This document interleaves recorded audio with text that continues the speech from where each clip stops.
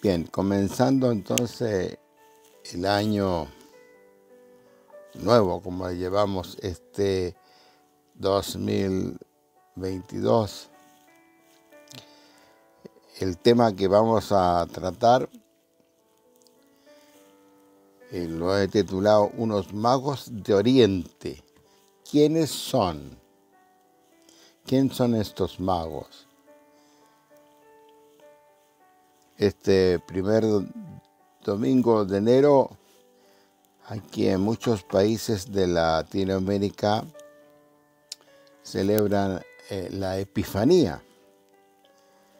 Y en Europa otros países lo dejan para el día 6 de enero. Y por eso es adecuado hablar eh, en estos días sobre estos magos de Oriente.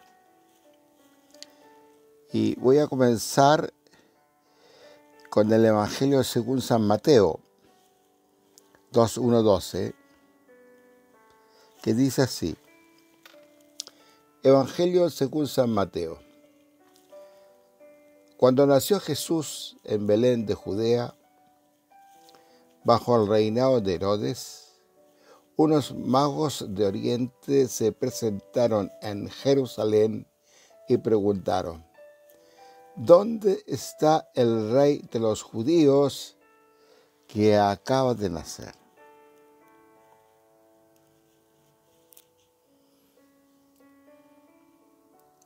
Yo entiendo que San Mateo comienza este fragmento del Evangelio precisando el lugar del nacimiento de Cristo, en Belén de Judea. También nos sitúa cronológicamente bajo el reinado de Herodes.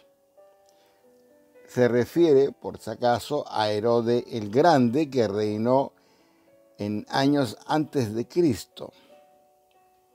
Eh, en esa época narra la venida de unos magos de Oriente a Jerusalén. Y entonces nos preguntamos, ¿quiénes son estos personajes? ¿Qué sabemos de ellos? ¿Por qué Mateo puso esta historia en los evangelios? ¿Qué tenía en mente Mateo?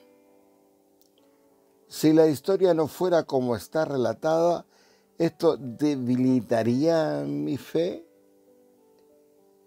¿Qué representa para nosotros este relato? Unos magos. El Evangelio nos relata unos magos y no dice que sean reyes, tampoco dice cuántos eran. Y agrega que eran de Oriente, pero no dice de qué país. Por tanto, no sabemos de su tierra de origen, ni tampoco podemos imaginarlos como soberanos, ni mucho menos conocer sus nombres. No obstante, se sostiene que venían de Persia, que eran celosos observadores de la justicia y de la virtud. Cicerón añade que son la clase de sabios y doctores en Persia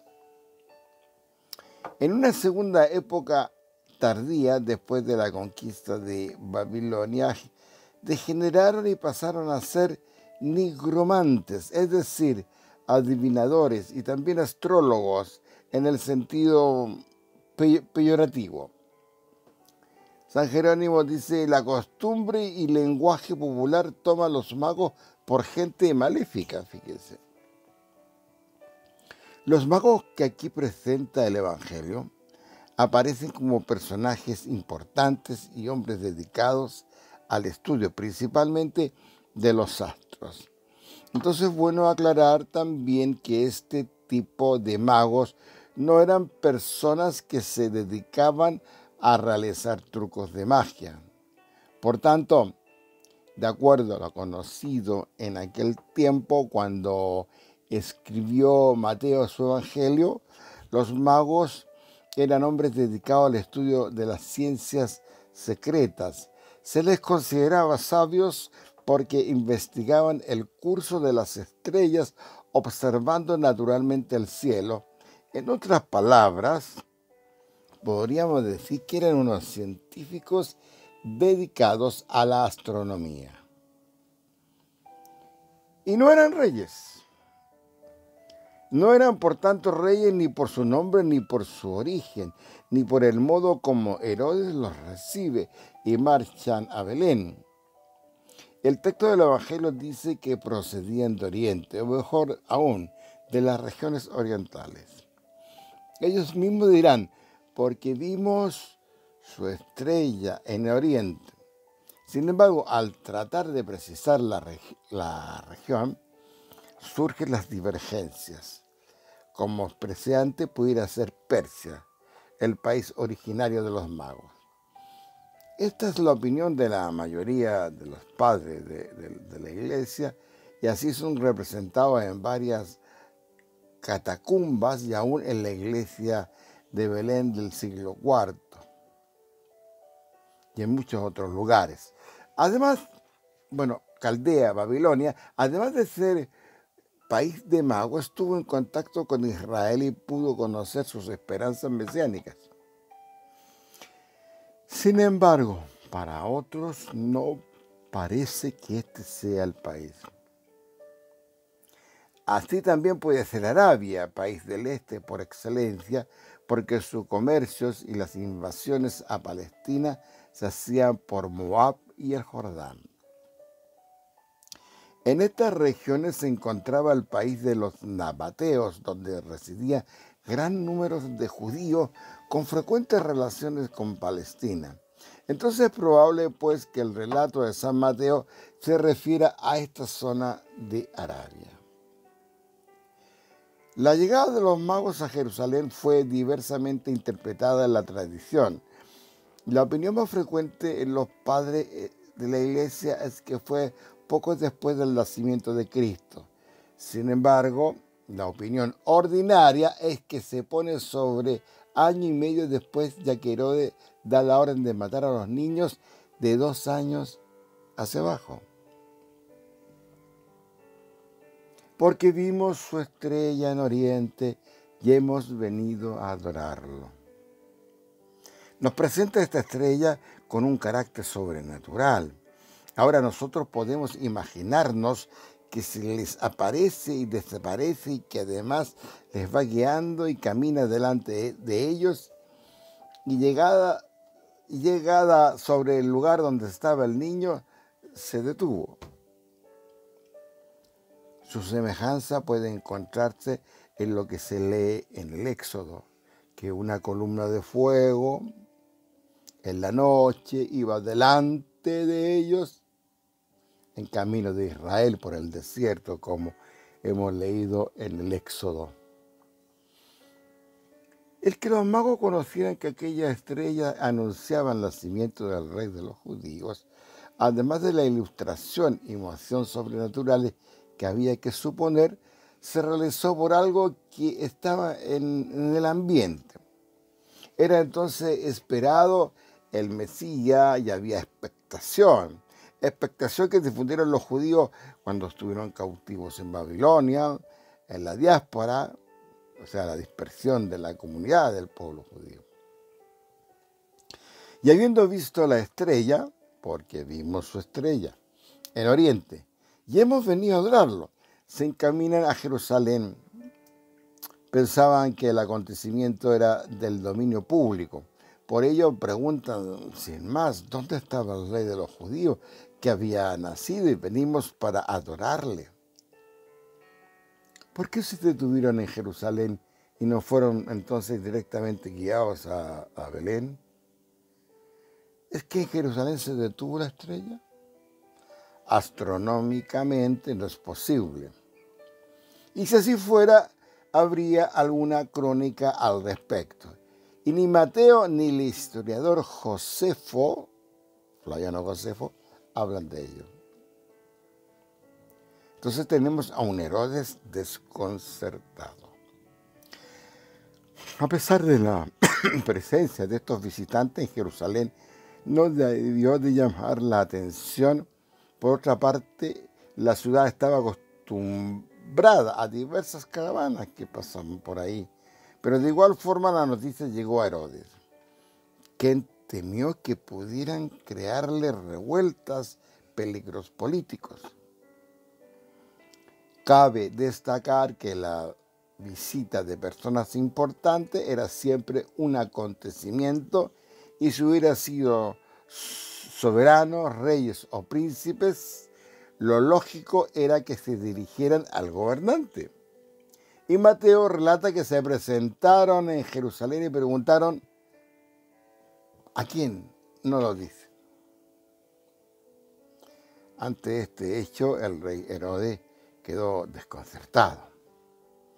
Es así como Herodes convoca a todos los príncipes de los sacerdotes y a los escribas del pueblo. El Sanedrín era el gran consejo de la nación, constaba de 71 miembros dividido en tres grupos.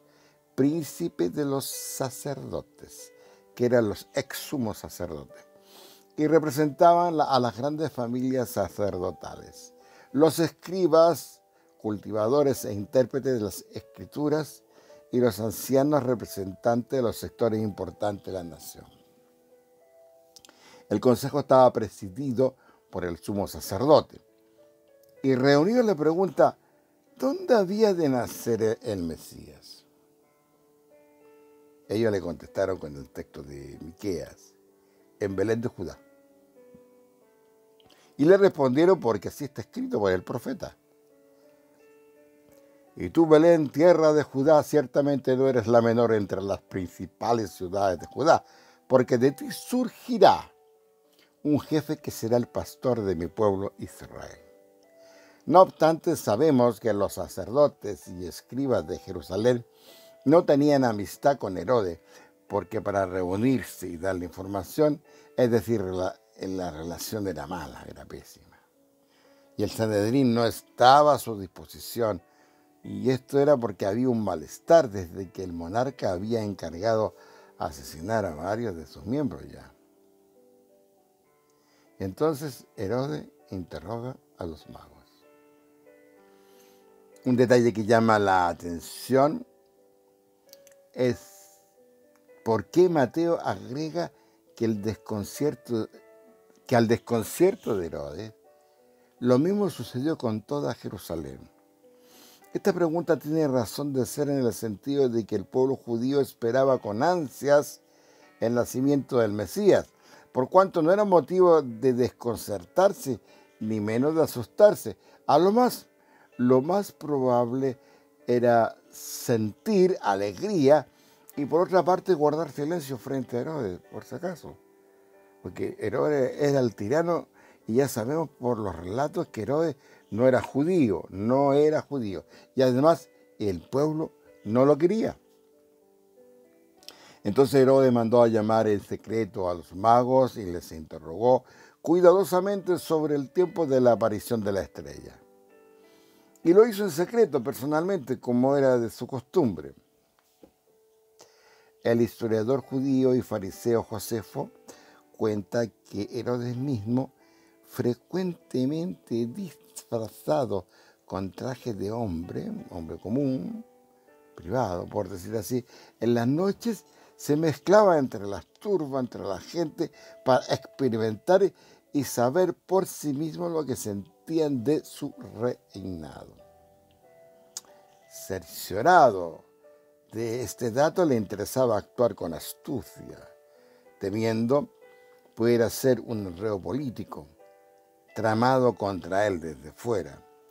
En su mismo palacio se habían urdido muchas veces conjuras bajo el pretexto de la aparición próxima del Mesías que terminaron en sangre. Entonces Herodes los envía a Belén. Mateo relata que reúne a todos los sumos sacerdotes y a los escribas del pueblo para preguntarle en qué lugar debía nacer.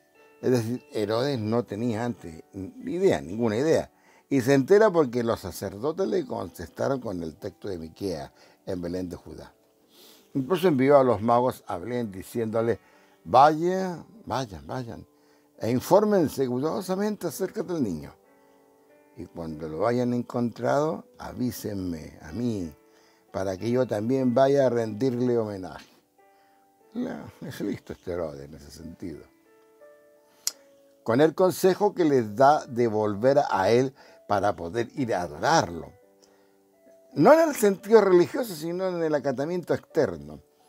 Se pusieron los magos en camino hacia Belén y vieron de nuevo la estrella. Mateo dice, cuando vieron la estrella se llenaron de alegría. Claro, ellos se regocijaron porque en vez de ver fallidas sus esperanzas, fueron por el contrario confirmadas más y más, porque veían recompensadas las penalidades de un camino tan largo. Se alegra con gozo aquel que se alegra en Dios, que es el verdadero gozo, ¿no? El misterio de la estrella le había hecho presentir que la dignidad del rey que había nacido aventajaba a la de todos los reyes de la tierra. Un detalle a tener en cuenta es por qué motivo hubo de llamar a una reunión para preguntar algo que era muy conocido. Y nos dice la escritura que el Cristo vendrá de la descendencia de David y de Belén el pueblo de donde era David. Así lo relatan en el Evangelio Juan. Bien, hablamos de este desconfiado Herodes. Siendo desconfiado, confía en estos magos. Mateo relata que Herodes le dice a los magos, cuando lo hayas encontrado, avíseme para que yo también vaya a rendirle homenaje. Esto es muy extraño ya que sabemos que Herodes era un hombre perverso, desconfiado. Entonces su actitud con los magos no parece aceptable de que así sea. Entendemos que está desconcertado, es decir, perturbado y asustado, y no es para menos. Se le anuncia a él que por ahí anda una posible amenaza y rival al trono. Por tanto, parece un asunto muy delicado y por tanto, lo lógico era que no confiaran estos extranjeros y extraños personajes. Además que no les conocía y estaban recién llegados por la zona. Por lo menos debería enviar gente de su confianza junto a los magos o algunos leales hombres tras los magos, a fin de asegurarse de, de lo que estaba sucediendo. Por otra parte, Belén era una aldea pequeñita, por tanto la llegada de unos personajes extranjeros que venían del oriente habrían causado un gran revuelo. Además con extraordinarios regalos. Por tanto, era fácil que los espías de Herodes pudieran descubrir el paradero del niño, cosa que no ocurre. Y entonces llegaron a la casa donde estaba María y Jesús. El relato evangélico dice, la estrella que habían visto en Oriente los precedía hasta que se detuvo en el lugar donde estaba el niño. Cuando vieron la estrella, se llenaron de alegría y al entrar en la casa encontraron al niño con María, su madre, y postrándose le rindieron homenaje. El el texto al entrar en la casa, no en un establo, por tanto es probable que ya no estuviera el niño Jesús en el pesebre donde ocurrió el parto. Por tanto, si había pasado algún tiempo, tal vez algunos pueden suponer hasta un año y medio del nacimiento de Jesús, lo natural es que se hubiesen ido a una casa, a una modesta casa hay que considerar que desde que se enteraron los magos del nacimiento de Jesús, tomaron la decisión de viajar, preparar el viaje, el tiempo de traslado a pie y sobre animales, podría ser en camellos, pasar por Jerusalén, llegar a la casa donde se encontraba María, su esposo José y el niño Jesús. No fue en dos, tres días, tiene que haber transcurrido un buen tiempo. Semanas, tal vez. Termina el relato diciendo, luego abriendo sus cofres le ofrecieron dones, oro, incienso y mirra. Y como recibieron en sueño la advertencia de no regresar al palacio de Herodes, volvieron a su tierra por otro camino. Es decir, no se sabe cuánto tiempo podrían haber estado estos magos en Belén. Y todo esto nos hace, nos hace hacer una pregunta. ¿En verdad existieron los reyes magos? Los evangelios son escritos de fe para hombres de fe. Esto es, los evangelios no representan una biografía, sino un testimonio de fe. Por eso mismo la historia de las escrituras concede un lugar esencial no al redactor final del escrito, sino a la comunidad respectiva. Por tanto, se deduce que los evangelios son ante todo obras de las primeras comunidades cristianas. Y el estudio tiene la tarea de recuperar el nivel del acontecimiento que provocó una fe semejante. Como dice Mateo, para Dios todo es posible. Mateo 19, 26, nunca olvidar. Para Dios todo es posible. Mateo 19, 26. Es posible hallar un esclarecimiento para las dudas que nos pone el relato, pero todas juntas es difícil, lo que agranda el misterio. Es así como los teólogos eruditos y otros estudiosos de la Biblia optan por deliberar que este suceso de la visita de los magos no sucedió como está tal cual relatado. Y entonces, ¿por qué el relato de los magos? Tenemos que considerar que Mateo compuso su evangelio para una comunidad judeocristiana, es decir, gente de origen judío, por cuanto toda su cultura, formación religiosa, costumbres, tradiciones e historias son de principios judíos. Con esto podemos suponer que estos destinatarios a los que se dirige Mateo conocían y respetaban importantes personajes relatados en el Antiguo Testamento. Por otra parte, Mateo conoció a Jesús ya adulto. Cuando, acuérdense, cuando él era un publicano. Por tanto, no conocía muchos detalles de la infancia de Jesús. Por tanto, sabiendo a quién se dirigía, podemos suponer que Mateo se basó en la vida de los personajes del Antiguo Testamento para narrar los distintos episodios de la vida de Cristo. Y una de las figuras más admiradas del Antiguo Testamento, sin duda, ¿quién era? El gran rey Salomón. Según la Biblia, este monarca gozaba de una sabiduría y una inteligencia tan extraordinaria como ningún otro rey la tuvo jamás, ni antes ni después. Su ciencia fue superior no solo a de otros reyes, sino a todos los sabios de Oriente ratos que podemos encontrar en el libro de Uno de Reyes. Y llegó hasta componer 3.000 parábolas, se habla de 1.005 poemas, y hasta escribió tratados de botánica y de zoología. Véanlo en Uno, en uno Reyes 5, 12, 3. Y hay relatos bíblicos semejantes. Mire, qué curioso lo que les voy a contar ahora. ¿Cuál era uno de los episodios más famosos y divulgados de la vida del rey Salomón? Sin duda, el de la visita de la reina de Saba. Los judíos solían contarlo, pero así con gran orgullo. ¿Y qué decía? Que un día se presentó en Jerusalén una reina anónima, venía de un lejano país llamado Saba, había oído hablar de la extraordinaria fama del rey israelita y quería conocerlo y admirarlo personalmente. Relato que está en el libro de Uno de Reyes. Este episodio tan popular entre los judíos que el mismo Jesús lo citó en cierta oportunidad, discutiendo con los judíos que no creían en él ni querían aceptar sus enseñanzas, les dijo,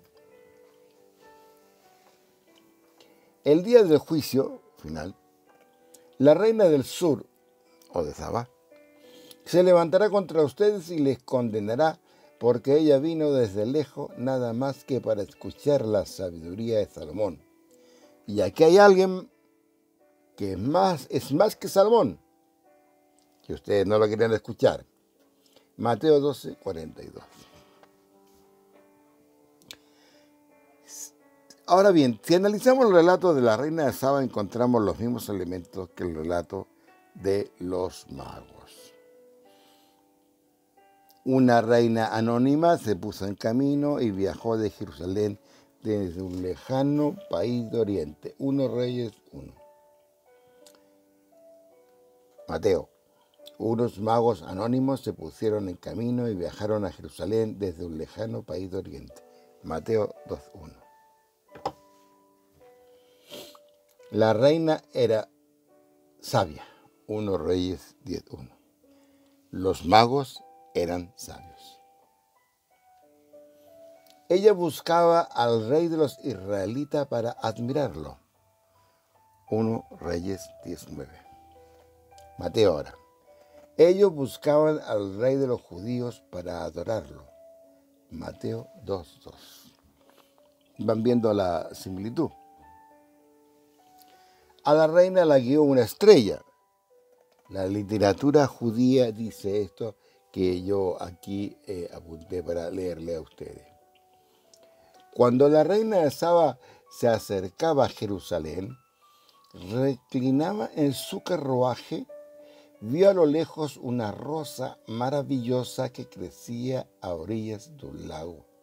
Pero al aproximarse más, vio con asombro que la rosa se transformaba en una luminosa estrella. Cuanto más se acercaba, más brillaba su luz. Según Mateo 2.2, a los magos también los guió una estrella. La reina de Saba llegó planteando enigmas difíciles de resolver y halló las respuestas. 1 Reyes 10.3. Veamos a Mateo. Los magos llegaron planteando un enigma difícil de resolver y hallaron la respuesta. Mateo 2, 4, 5. La reina le ofreció a Salomón los regalos que le traía, oro, incienso y piedras preciosas. 1 Reyes 10:10. Los magos le ofrecieron al niño los regalos que le traían, oro, incienso y mirra. Mateo 2:11. Luego de admirar a Salomón, la reina regresó a su país y desapareció de la historia. 1 Reyes 10:13. Veamos a Mateo. Luego de adorar al niño, los magos regresaron a su país y desaparecieron de la historia. Mateo 2.12. Sabio como el rey sabio. Es posible, pues, que el relato de los magos, así como está contado en el Evangelio de Mateo, no haya sucedido realmente. Que no se trate de un hecho estrictamente histórico, sino que haya sido creado por Mateo teniendo como base la narración de la visita de la reina de Saba Salomón. Este modo de contar la biografía de alguien era muy común entre los teólogos judíos de aquel tiempo, que más que una precisión histórica buscaban siempre transmitir una enseñanza o un mensaje. Y por supuesto que los lectores judíos, al leer el relato de los magos, descubrían inmediatamente que el autor les quería decir. ¿Qué es lo que les quería decir? que Jesús era un nuevo y más grande que Salomón, enviado por Dios a la tierra, que este niño nacido en Belén residía en él una sabiduría y unos conocimientos extraordinarios como nunca los hubo antes en ningún ser humano, ni los podrá ver después. Que las cosas que este niño diga cuando sea grande, aunque resulten para algunos desconcertantes sorprendentes, pueden ser aceptadas con confianza porque es Dios quien habla a través de él. Al comparar los textos podemos suponer. Y de magos a reyes. Los misteriosos magos de Oriente que llegaron a Belén a visitar al niño Jesús cautivaron pronto la devoción y la fantasía popular de los cristianos. Fíjense que ya en el siglo II, siglo II, se le elevó a la categoría de reyes. Esto se debió a que había un salmo que decía, los reyes de Tarsis y de Saba le traerán sus regalos, todos los reyes se arrodillaron ante él. Salmo 72, 10, 11. Y se creyó que los magos eran estos reyes que habían venido para cumplir la profecía.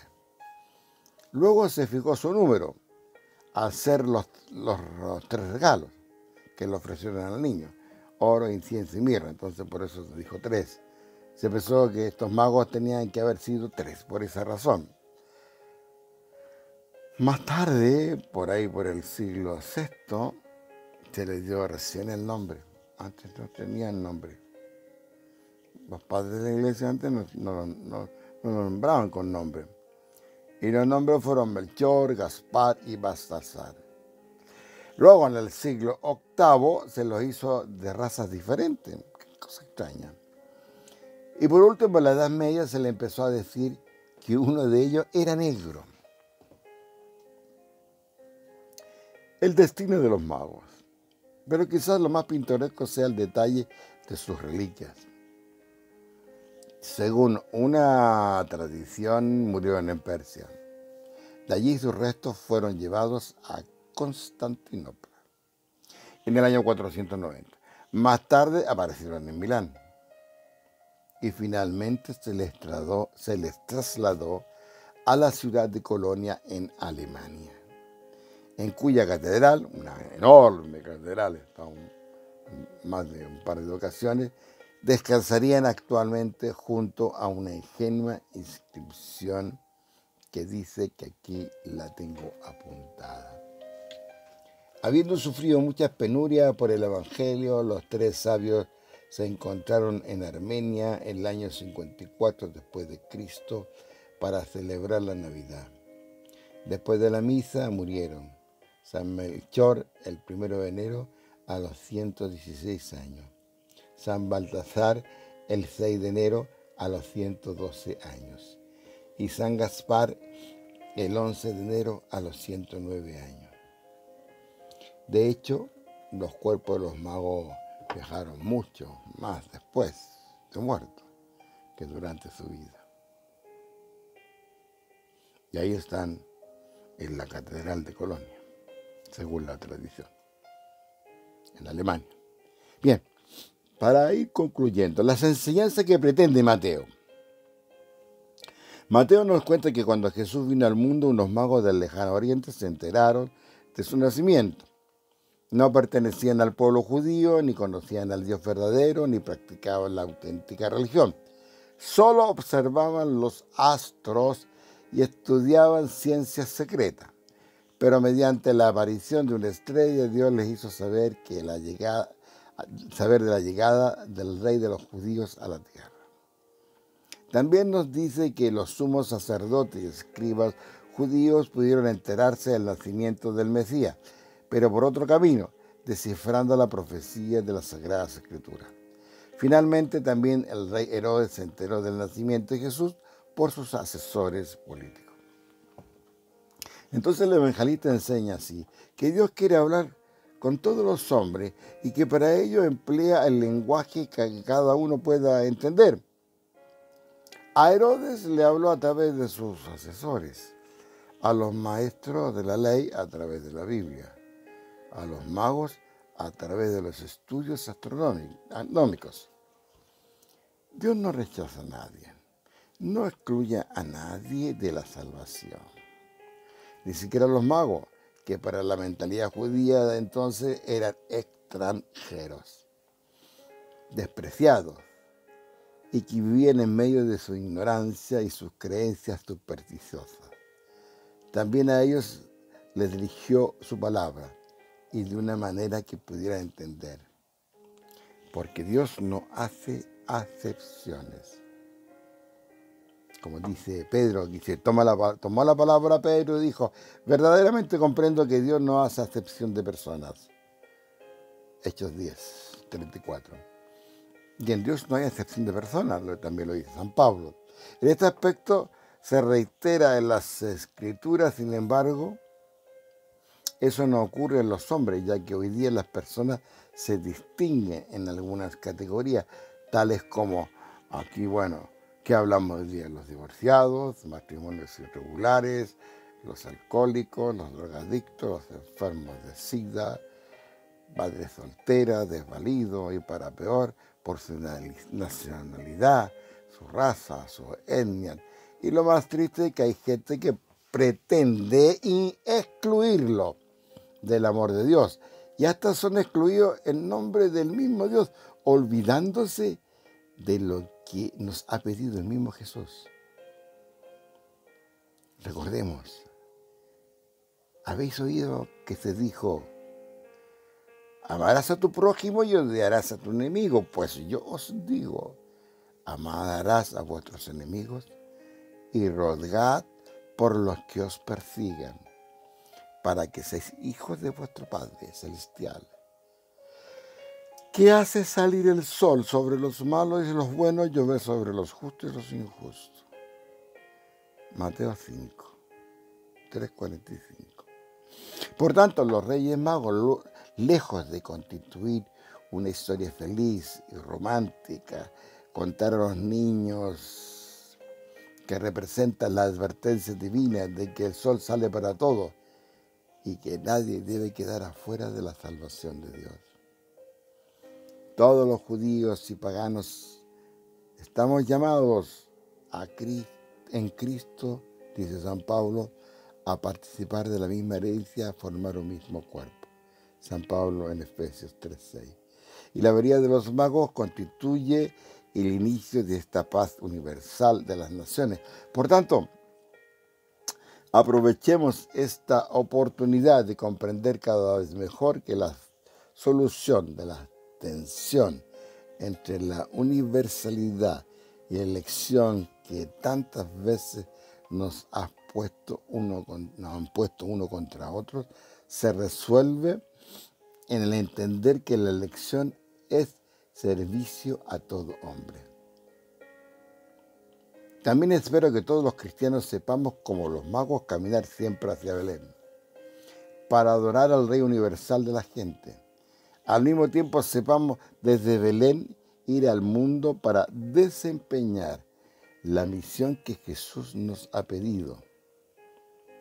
Y confiado.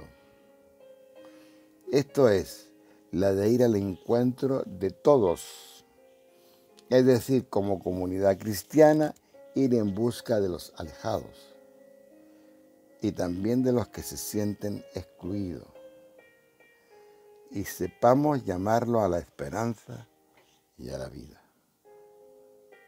Amén. Bien, amigos y hermanos, esto es lo que les tenía yo preparado sobre el tema de los Reyes Magos. ¿Quiénes son estos personajes? ¿Qué es lo que sabemos de ellos? ¿Por qué Mateo puso esta historia en los evangelios? ¿Qué tenía en mente Mateo? Pero hay algo importante. Si la historia no fuera como está relatada, ¿por qué esto va a debilitar mi fe? Ahora cada uno puede analizar desde su propio interior qué representa para nosotros o para cada uno este relato unos magos de Oriente.